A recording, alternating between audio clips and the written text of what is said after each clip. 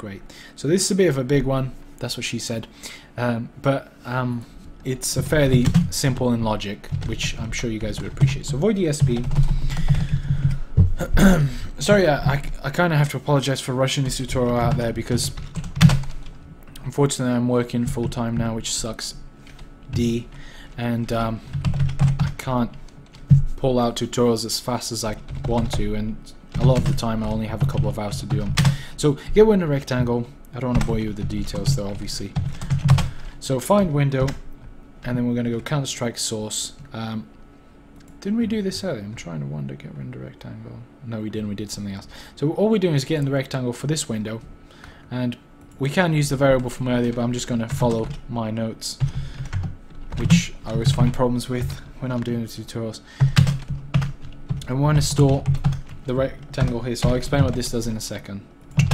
So that's fine, kill that, find window. And again, we want to make sure we type the exact right thing here, Counter-Strike source.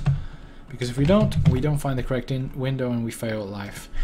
Um, so yeah, what we're doing is here, here, as the name states, is get window rectangle. So we're getting the window where our game's being played in, and we're storing the rectangle on mrect, which should call this.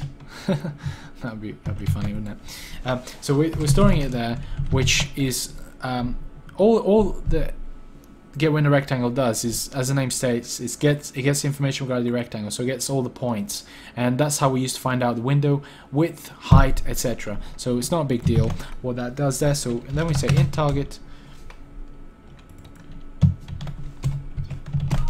Yeah, that's found a variable that doesn't need to be declared. It's from the old aimbot, so we ignore that for now. So let's create a for loop that we use to loop through our enemies in order to draw them. So for int i equals 1, um, set it to 0 actually. Um, if i is less than number of players, num of players, plus plus, again if you watch the aimbot tutorial you'll know exactly what number of players is and it's the, the obviously as, as the name states it, is the number number of players in the game. So you could be on a server with 30 players, and you could, or you could be on a server with two players. If you're on a server with two players, you don't want to be looping through 30 results, which will make your aimbot or your ESP whatever incredibly slow. Um, so we're just being efficient about that. It's just basic stuff.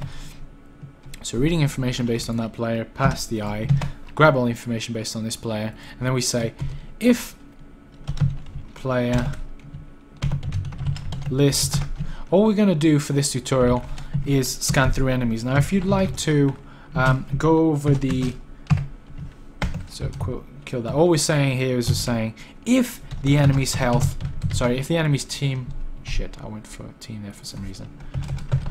Health. If the enemy's health is less than 2 don't display them okay? Look through their health. If it's less than 2 they're dead. Uh, that's just the way Counter-Strike works. Um,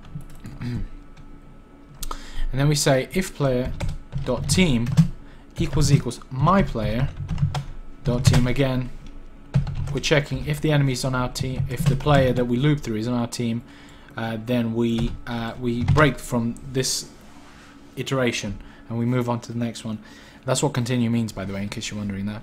So we don't we don't draw any ESP on players that have less than 2 health, and we don't draw an ESP on our own team. Now, if you want, you can kill this um, and draw on your own team as well. That's absolutely fine. So if you want to have an ESP that draws on both your guys and the enemies, that's fine. On this example, I'll just cover um, our own team. So remember to comment this out or not do it if if you just want to if you want to show everyone. Um, I'm gonna sneeze. Fuck. Excuse me, guys. All right. Now we're declaring the enemy XYZ point, and this is what our world screen is beautifully required for. And then we say if world screen, so if the enemy is within our our uh, screen basically. So player list. what are we sending in there? We're sending the enemy's position, oops, dot position, and we're sending our own position. Sorry, we're sending enemy's position and our XY position. Sorry about that. Yep. And we go if if the player is within our screen, we draw. So I forgot to do close that. If he's within our screen, let's draw the ESP. So uh, whoa. So draw ESP. This will be done first. So leave the error there for now. We don't really care. comment it out if you like. So we're going to write our ESP, draw ESP function, which is a little bit complicated, but it's not it's not really a big deal. This is all pretty straightforward stuff. So void, and there's many, many different ways of doing this. Um, with my previous ESP, a couple of the previous ESPs that I've coded, I've done a fair amount of different kind of ways. Um, but it's really up to you. The way I've done it here is quite straightforward. So int y and float distance. So as you can see, first things here, we're throwing in where we want to draw the ESP. So X, here's X, draw on the X coordinates on the screen. So that's the horizontal axis. Or Y, and Y, sorry, which is the, the vertical axis. So we're saying draw here and there. So this could be maybe on our crosses, could be anywhere on the screen. So at this point, we already know where to draw. We've got everything that we need. And that this is where our drawing actions will happen. So, um, and obviously the reason why they're separate is because we want to keep the code neat. So let's pass on the variables that we need so we don't have to worry too much about that anymore. So draw, and this will be enemy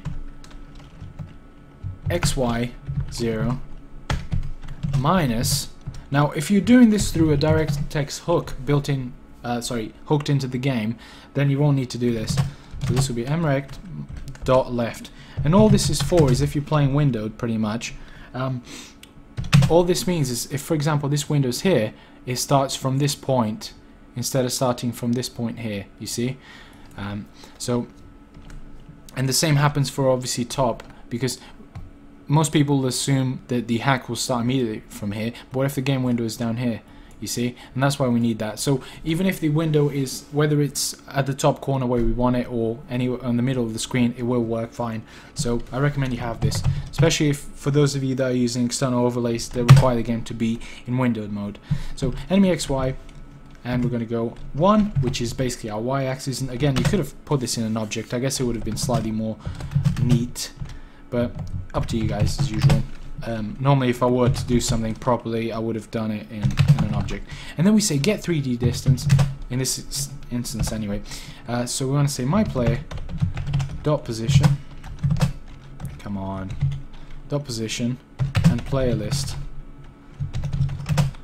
i dot position okay? Uh, yeah I'm happy with that. So all we're doing here is we're setting a distance which is what we use to draw onto the screen the how far away we are from the enemy. So that's pretty simple stuff. So we've got that. Let's not worry about ESP anymore because that's uh, easy stuff. We loop through all the enemies. Now we need to say draw here draw there draw there draw there draw everywhere. That's all we're doing. So first thing we're going to do is int width. Now you'll find this very strange here. Equals 18 uh, should I go over this just now? Um yeah, I mean, I'm sure there's a better way of doing this, but look, I'll, I'll show you this first, and then I'll explain why I've done this.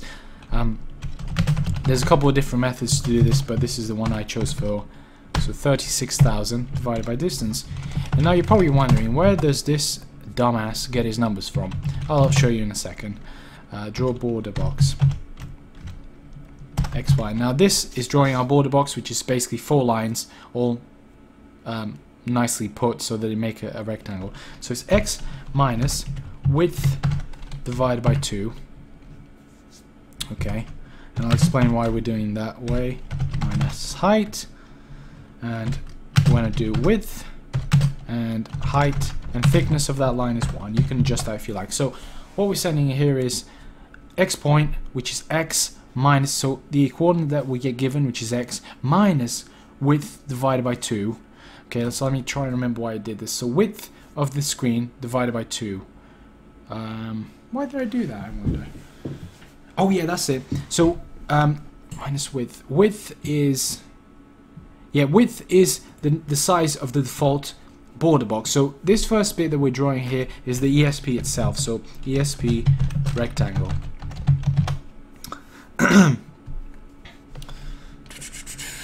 we can set a size there. It's best, I think it's better if I show you this in, a, in an example. Let's set, ignore these widths, and let's do, for example, actually, let, us set the default values. Let's say you're doing this, um, let's say you're doing this, and you want to say, you want to have 100 width for your box, and you want to have uh, 150 height for your box, okay?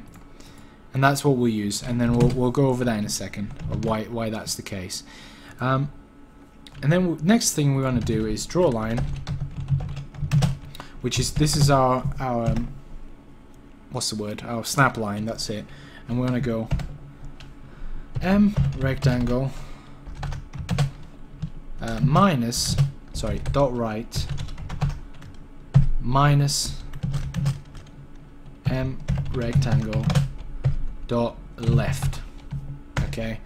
Um, divided by 2 okay uh, that's fine. Uh, gonna make a very quick sandwich because I'm seriously starving. I'll be right back. Okay we are back in business guys. Um, for the win. Alright so where were we? We were typing the internet alright that's fine. So we were copying this bit and what we're doing here is we're drawing the line.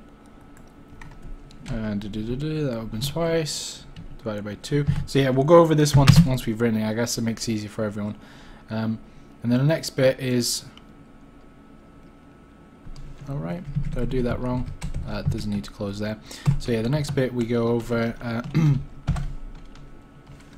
I guess that's not necessary. So m rectangle dot bottom minus m rectangle dot top x comma y. Uh, that gives us in the snapline color. Brilliant.